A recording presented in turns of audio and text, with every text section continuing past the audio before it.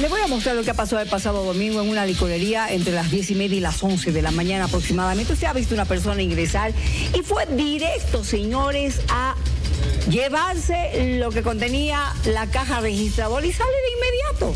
¿Cómo ingresó? ¿Cómo ingresado este hombre? ¿Sabe qué? Logró violentar la puerta, forzó la puerta de vidrio, hizo saltar el seguro y se llevó la caja registradora caja con el dinero incluido, había unos 7 mil bolivianos, también había monedas de 5, de 2, de un boliviano, además de tarjetas de tres empresas telefónicas. No había nadie en la licorería. ¿Dónde estaba el dueño o el encargado? Pues el dueño se encontraba en la terraza tratando de remojar su ropa, porque era el domingo. Tenemos ya información con Yalmar Sánchez, por favor, porque Yalmar ha ido al mismo lugar para indagar un poquito con el dueño, hablar con él. ¿Qué te dice Yalmar? Yo comienzo con esta imagen porque una vez más las cámaras de seguridad han podido captar el momento en el cual una persona irrumpe en un negocio en este caso en la esquina cervecera, ubicada acá en la, en la zona Santa Rosa Grande de Alto Miraflores. Yo me encuentro con don Luis, que es justamente el dueño de esta tienda, eh, de la cual el día domingo a las 10 de la mañana aproximadamente eh, eh, ingresan, ¿no, don Luis? Aproximadamente entre 10 a 11 de la mañana hace fuerza la puerta de vidrio este sujeto. Yo estaba rato antes me subí a la terraza a remojar mi ropa. Y yo estaba remojando, algo así, tocan el timbre. Vengas acá porque vamos a mostrar justamente. Usted estaba en la terraza en ese Yo estaba en la terraza. Lo que se ve en el video es que esta persona ingresa.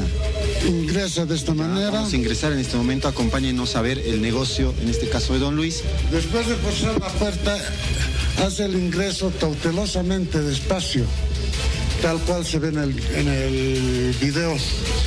Agarra y viene y trata seguramente de querer abrir la caja porque estaba con la llave y no ha debido poder abrir la, la, caja, vuelve a salir hasta ese lugar. Parece como si se asustara en un momento, ¿no? De que escucha ruido o algo así. Se vuelve a salir y se da media vuelta, agarra y lo forja nuevamente a la caja.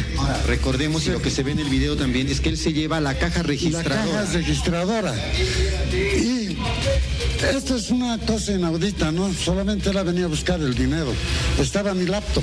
¿Que la laptop sigue acá? Sigue aquí. La impresora. La impresora. Había dos celulares. Y los celulares y los celulares continuaban en el lugar, no se ha llevado eso. Muy bien. A ver, yo lo que quiero que usted me acompañe y véngase por acá por la puerta porque es un tema importante también. La seguridad que tenía en ese momento la puerta. Estoy sacando solo la caja registradora del dinero. Espera un ratito, don Luis, cuénteme aquí algo importante. Mire, acá esta es la seguridad de la puerta del negocio de don Luis. Es así, ¿no? Eso es. Ah. ¿Cómo hizo el ladrón para poder ingresar? Lo ha forzado. Lo ha destrozado por completo esto ya. Ah, está desnivelado. ¿Qué hizo pero? ¿Lo alzó? ¿Qué, ¿Qué pasó? Me imagino que has hecho de esta manera. A ver. Nos está explicando en este momento, don Luis, cómo ha podido forzar la puerta. Claro, empezó a desnivelar a desnivelar la puerta y, en el video que les he pasado se, se, siente la fuerza con la que ha abierto la puerta. Suena. Suena. Y ese, y ese sonido justamente usted no lo puede escuchar. Véngase ahí, por favor. No lo puedo escuchar porque estoy en la terraza. Al lugar de, donde usted siempre atiende su negocio. Bueno, este hombre, usted... Eh, avisó a los vecinos, tienen un grupo de vecinos. Tenemos un grupo de vecinos de la zona. He mandado el video, he mandado una y otra situación, nadie da respuesta porque seguramente nadie lo conoce.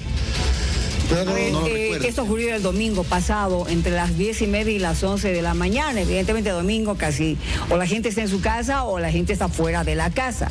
A ver, tenemos eh, nuestras líneas, por favor, y reporteros al día para que usted nos pueda escribir si tiene alguna información más con relación a este tema, 7670-8585 y también el 7670-7004. Ahí a pie de pantalla, sáquele una fotito si no ha logrado escribir, pero por favor, comuníquese con nosotros si sabe algo más.